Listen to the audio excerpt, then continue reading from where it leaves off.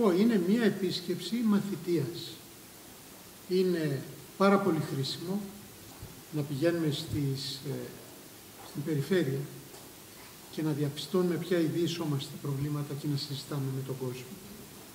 Γιατί, γιατί τα προβλήματα σε κάθε περιοχή είναι διαφορετικά.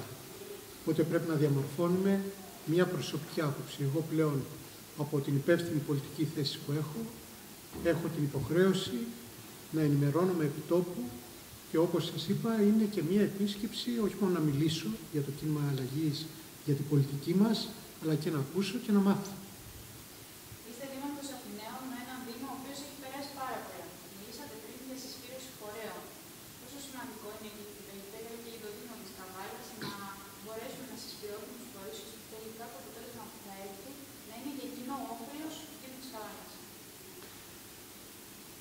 Μιλώντας με οικονομικούς όρους, μία κρίση απαιτεί πρώτα απ' όλα να προχωρήσει σε οικονομίες κλίμακας. Τι σημαίνει; Να ενώνεις δυνάμεις εξοικονομώντας πόρους ανθρώπινους και υλικούς.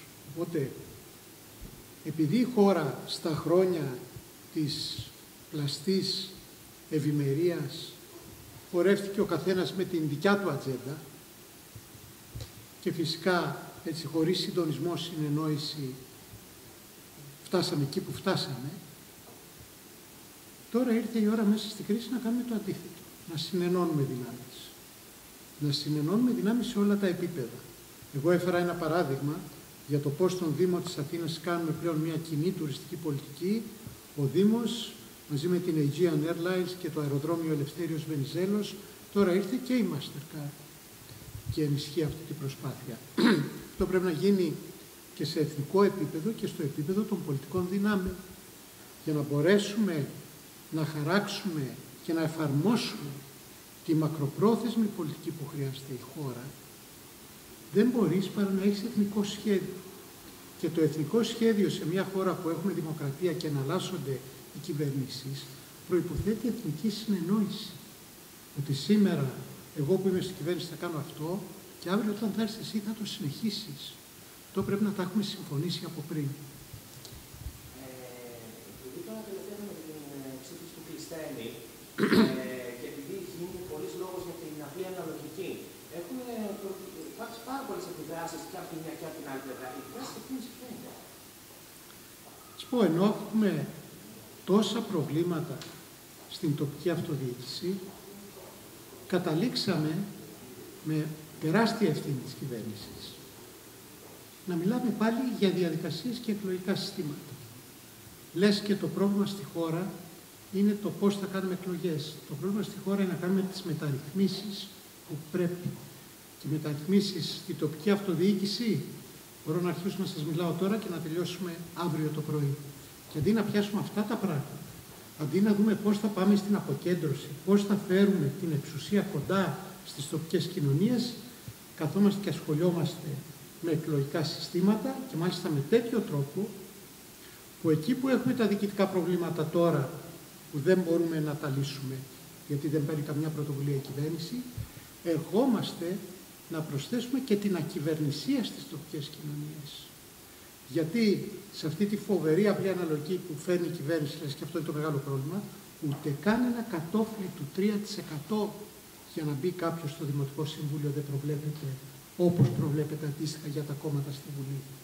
Θα έχουμε δηλαδή κατακαιρματισμένα Δημοτικά Συμβούλια, ένα δήμαρχο που θα εκλέγεται με απόλυτη πλειοψηφία, αλλά θα είναι ένας γίγαντας με πύληνα ποδάρια.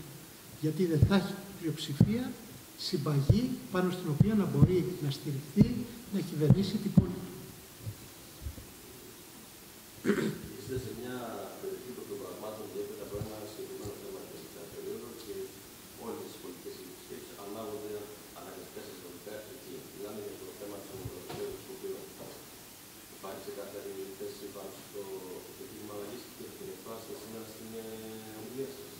Να σας πω, υπάρχει η θέση την οποία έχει εκφράσει και το κίνημα αλλαγής στη Βουλή.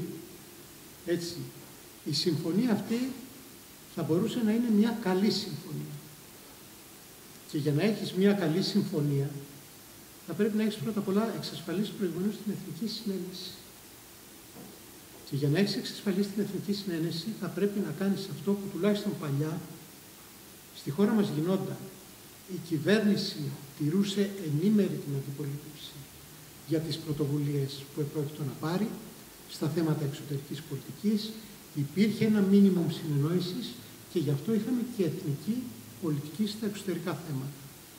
Βλέπουμε τώρα ο ΣΥΡΙΖΑ να λειτουργεί με μία μυστικοπάθεια, δυστυχώς όχι μόνο στο θέμα των σχέσεων με την ε, ε, πρώην Ιουγκοσλαβική Δημοκρατία της Μακεδονίας, τώρα το βλέπουμε και στο Αλβανικό, το βλέπουμε και στο θέμα των διαπραγματεύσεων για τη τύχη των Ελλήνων αξιωματικών με την Τουρκία, μια μυστικοπάθεια και ένας αποκλεισμός της αντιπολίτευσης από τις, ε, τουλάχιστον στο πεδίο της ενημέρωσης, που δεν βοηθάει καθόλου. Και θα μπορούσαν να είχαν αποφευχθεί λάθη, όπως το να περιέχονται στη συμφωνία όροι, οι οποίοι ευνοούν τον αλυτρωτισμό.